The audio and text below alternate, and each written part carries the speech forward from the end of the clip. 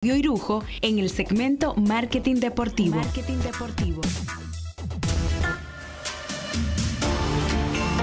Bueno, y aquí estamos de regreso en este almuerzo de negocios, 12-11 minutos del mediodía de este viernes. Y tengo, venimos... tengo hambre, ¿eh? ¿Tiene hambre? Tengo hambre, Bueno, así pero eso está fácil porque vamos a Wendy's, pedimos cada uno una barbecue bacon melt, tú pides un relleno, yo pido otro relleno, Claro. partimos por mitad y comemos mitad y mitad. Me gusta esa propuesta. Comiste dos hamburguesas en una, Pero muy bien. ¿eh? Porque esa es la ventaja que tiene esta barbecue bacon melt de Wendy's. Por cierto, que ya toda la gente de los restauradores, de esa zona de la Rómulo Betancourt, Sí. después de la privada, ya tienen ahí su tanto, Tiene el combo ahí. tanto Wendy's como Pizza Hut. Así que Eso va bien ahí. eso va muy bien por Eso ahí en esa ahí. estación de combustible. Y, va- y vamos de inmediato, Rafael, con este segmento de marketing deportivo, agradeciendo a Lubricantes Amali, formulado para ser el mejor. También a Laboratorios Clínicos Patria Rivas, tu mejor resultado. Al TIS, conectarnos hace grandes. Y a Pizza que es el patrocinador oficial del béisbol en casa. Y como cada viernes, aquí tenemos a nuestro compañero Claudio Irujo, que va saliendo de aquí a montarse en un avión. Tú no, tú no vas No, para, no, el no. City Field a ver el juego. De... No, no, no. No, Bienvenido. ¿Cómo estás? Muchísimas gracias. Y ya no sé si en estos últimos días puedo decir como cada viernes, porque he faltado algunos, Sí. pero he mandado mi, mi, mi representación. sí, sí, Creo que el viernes pasado tuvieron una muy interesante entrevista con ese gran éxito que eh, eh, tuvo el, el Mundial de el Sub-17. Bueno, femenino. rompiendo, rompiendo récords. Muy bien. A veces la gente, para denostar un récord como ese, viene, tira la, la, la cascarita de que la mayoría de esas boletas fueron regaladas. Aquí se han regalado muchas boletas para muchos eventos. Sí. Y la gente no va. Así es. Y la gente se queda en su casa. No, y Sin además, embargo, y además hay, que, hay que entender lo que es la dinámica del regalo de las boletas. Muchas veces son marcas o eh, patrocinadores que adquieren esas boletas. Una gran cantidad. No es que no fue que se regalaron las boletas. Es que si un gran patrocinador tiene boletas que la adquirió Dentro de su comprado, paquete. la- las, las regala. Entonces la gente se confunde y dice, no, tuvieron que regalar. No, hay patrocinadores que ah, eh, agradan a sus clientes comprando esas boletas. No estoy diciendo que ese sea el caso, Claro. pero a veces esa dinámica se da Sí, y la gente no lo entiende. vuelvo y te digo, Como, si pero- tú, tú sí. puedes hacer un concierto con el artista que tú quieras Sí. y tú agarras y regalas la boleta y me vienen varios ejemplos a la mente de un, de un mexicano que tuvo hace poco por aquí. Y oye, me regalaron muchas boletas. Sí. Y el sitio se veía vacío. Así es. Entonces, el hecho de que ellos hayan metido 18.400 personas en un juego de un mundial femenino sub-17, óyeme, eso es de No, y tuvo, resaltar. tuvo- y fue, fue impresionante. Yo, yo, de hecho, a uno de los juegos yo traté de ir, no pude entrar. O sea, había toda una dinámica que envidiable. Y, y yo creo que, que eso marca un hito en lo que es el fútbol en la República Dominicana. Mira, muy brevemente, Claudio, yo Sí. sé que tú tienes un tema ahí bien interesante. que Pero a- justamente lo que mandaste, que te- lo, de, Sí. lo de los juegos, sí, me- vamos a tocarlo para después entrar Claro. en- en no, y además aquí Sandy Victoriano nos está hablando de juegos interligas. Lo primero que tengo que decirte es que si le pusieron ese título, yo no estoy de acuerdo. No son juegos interligas. Yo No. creo que son unos juegos de exhibición con equipos de diferentes ligas del Caribe. Porque un juego interliga, como lo conocemos en las grandes ligas, son juegos que tienen validez para el calendario oficial de la MLB. Se habló el año, se habló el año pasado que podían, se estaba evaluando, no sé si al final lo aprobaron, que fueran, que tuvieran validez. Sí. Pero Pero, eso no toca a partir del año que viene. Ah, ok. ya. A partir del año que viene. Eh, eh, vimos un, un artículo que escribió Bienvenido Rojas. Todo el mundo conoce muy bien a Bienvenido Rojas. Es, un, es uno de los eh, analistas y cronistas deportivos de más larga data de nuestro país. Eh, una persona con posiciones muy frontales en las cosas que dice. Y que vamos a decir que está medio en retiro. Pero ha puesto el dedo en la llaga y ha dicho que hay que tener cuidado con. Porque eh, recuérdense que primero eran tres partidos en Estados Unidos. No se pudo llegar a un acuerdo para que los tres partidos fueran consecutivos. Se va a jugar este domingo en Nueva York, en el City Field. Pero luego, más adelante, va a haber dos juegos más en otra fecha. En Puerto Rico. Y van a ser en otro lugar. Entonces, lo que él está diciendo es que se ha tenido que trastocar el calendario del torneo local para poder darle la apertura y tener la disponibilidad de que el Licey y las Águilas, y creo que en, el- en lo que va para Miami, es las son las estrellas orientales para que puedan ir a esos juegos de exhibición. Digo juegos de exhibición porque no tienen, Para llamarlo de alguna manera. no tienen, no, no, no caen dentro del calendario oficial y no es un evento aparte tampoco. Y que eso puede generar un malestar en la fanaticada dominicana, sobre todo porque, bueno, hoy el escogido manda un comunicado donde está moviendo muchos juegos de fecha, precisamente para poder hacer ese espacio. Entonces yo quiero escuchar la opinión de ustedes.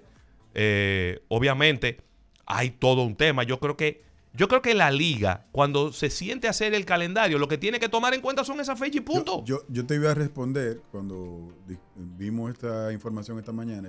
Yo, yo estoy de acuerdo en un 50% y en desacuerdo en un 50%. Te explico por qué.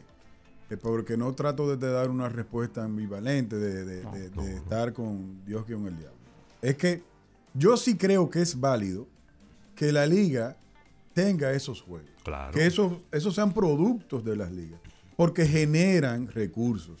Y la liga tiene que generar, y los Claro, equipos tienen que claro. generar recursos. Esa es la dinámica, esa es la esencia del deporte profesional.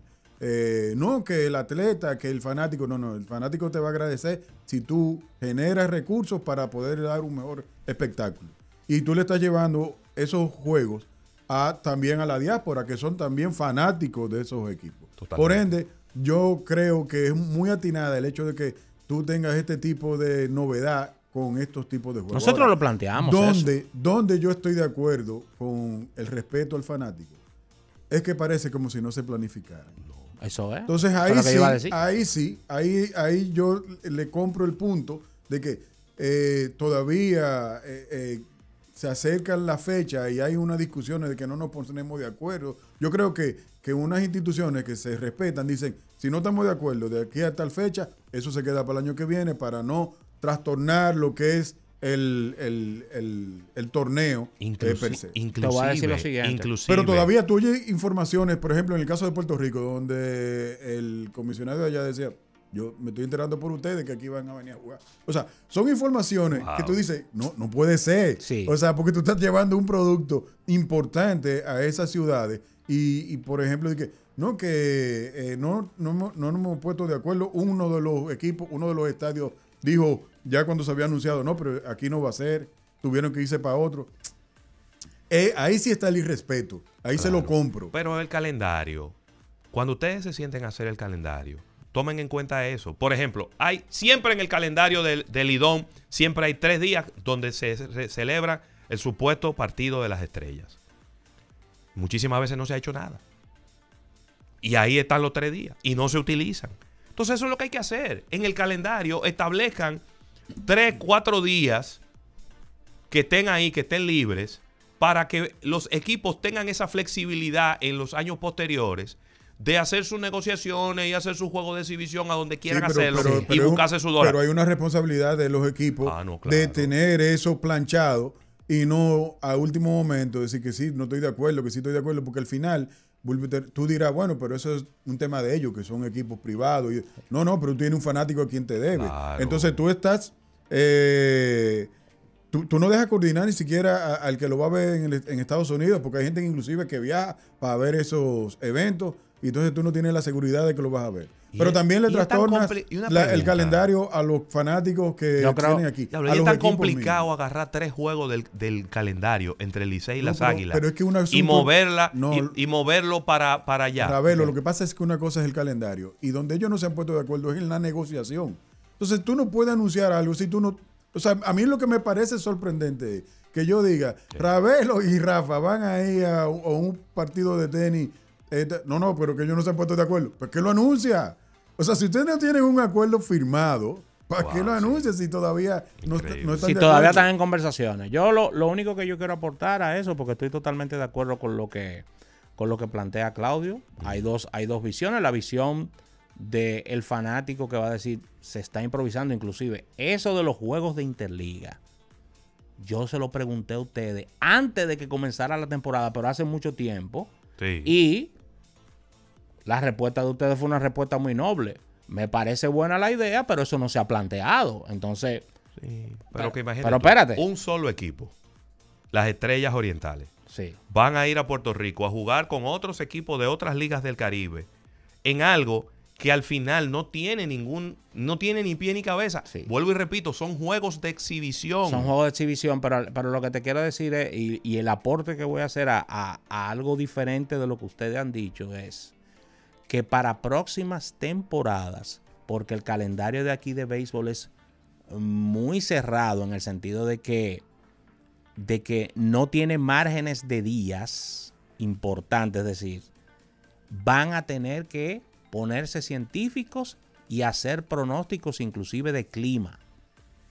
¿Qué es lo que está diciendo Rafael Fernández?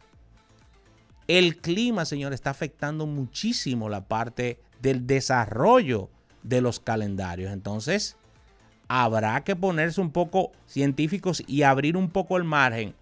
¿Para qué? Para que no vengan las distorsiones que en un día y en, tre- en- un día y en una semana se celebren hasta dos dobles juegos. Que eso es una locura. Que un juego a la una, un juego a las 10 de la mañana y el otro a las 4. Eso se puede hacer un día, pero eso hay que trabajarlo también. De que haya un margen, Ravelo, un margen de error. Creo que este año se tomó en cuenta, ¿eh? Porque fíjate que mira. hay muchos días en donde solamente juegan cuatro equipos. Eso da un margen a que se celebre otro juego en el caso de que sea necesario. Y seguirlo Creo- trabajando. eso. Creo que eso se tomó en cuenta. Pero, pero, pero sí, era algo que era algo que estaba muy pendiente. Y si se tomó en cuenta, por lo menos no se le ha dicho a nadie. No se le ha dicho a nadie. No se le ha dicho a nadie. Se- lo, se- lo saben los seis equipos y la liga. Nada más que eso se tomó en cuenta. Señores, la comunicación, la comunicación, la- la- los fanáticos necesitan estar informados. No, no es nada más, no es nada más, Claudio, la llegada de peloteros, ¿eh? La llegada de peloteros. Y, y- y hablando también un poco, Claudio, del branding, y sé que esto te afecta mucho porque de quién yo voy a hablar. Del branding del torneo per se. No le hace mucho daño a la marca que es el béisbol invernal este manejo de los equipos, de todos, ¿eh? sobre todo, sobre todo de, de, de equipos, eh, y van a decir, exceptuando, exceptuando el escogido, pero no, también está. El, el manejo de los managers. Entonces yo perdí seis juegos como manager, siete juegos y me van a sacar. Entonces, eso, cualquier eso equipo. es una constante. aquí. Ya eso ¿Eh? siempre ha sido O una sea, cosa. eso, eso no es de ahora. Óyeme, Aquí yo pero- creo que ya el fanático se acostumbró a eso. Óyeme, yo pero- creo que ya el fanático lo pide. Claro. Pero señores, están pidiendo, la están pidiendo que voten al Mani y el del Licey. Y el Licey no está en Y el segundo o Licey en está en tercer segundo lugar. lugar En del segundo lugar. campeonato. Eh, que para mí, ya fuera de- del tema deportivo o de branding, o ¿El sea, es injusto que, que ¿Eh? tú. Ey, no te rías de Offerman, ¿eh? no, no, ay, no, yo no, no, para mí, Pero verdad- Offerman, Offerman, es, Offerman es parte del Licey y el Licey es parte de Offerman. Yo, yo, tú sabes que yo soy liceísta y, y Claro. entre eso, y- y eso incluye a Offerman. A lo que me refiero es que es injusto que, o sea, tú no oyes eso. Tú, inclusive, tú oyes el fanático dominicano, por ejemplo, en esta serie mundial. Sí. A ese manager de los Yankees hay que sacarlo, porque esos son, esos son posiciones del dominicano. Claro. Sí. Vótenlo. Bótenlo. Entonces, si no lo votan, la gente, ah, es que no quieren ganar. Óyeme, yo creo que, que el- no se puede ver como que, ah, el manager es el culpable.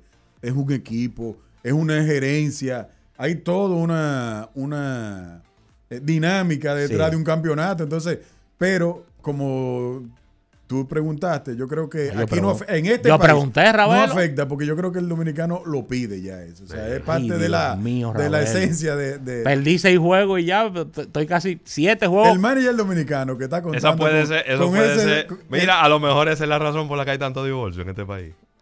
¿Por qué? Bueno, va. sea, Va- bueno. Vamos, vamos con el, con el próximo tema. Sí. La gente no tiene paciencia. Mira, ya que